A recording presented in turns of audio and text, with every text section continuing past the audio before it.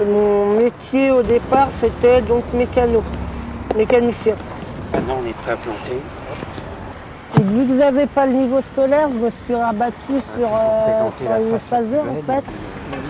C'est un travail que j'aime bien parce que bah, il y a le fait d'être dehors, bah, faire les plantations, tailler, faire les tons. Je vais laisser planter le dernier D'accord.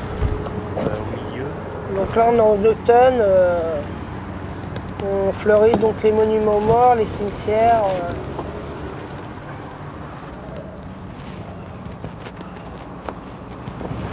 Je me suis assez bien euh, adapté au niveau des équipes. Oh, comme ça. J'ai appris en regardant faire en fait. On va mettre une jaune, tiens.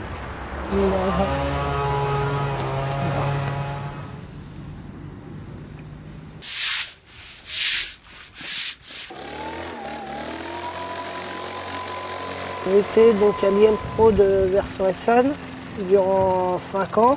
J'ai eu un apprentissage, euh, un pré-apprentissage en espace vert qui m'a beaucoup servi avant d'aller euh, donc faire une formation à la de Lardy. On se souvient de, du petit garçon qui est arrivé euh, assez timide, assez inhibé, euh, très réservé. Et puis euh, bah, de l'homme jeune qui est parti de l'IMPRO et vers un avenir euh, très prometteur. C'est vrai que c'est un garçon qui était très investi dans le travail, un peu moins dans le scolaire, mais il a su dépasser euh, cette difficulté et arriver euh, là où il en est arrivé aujourd'hui.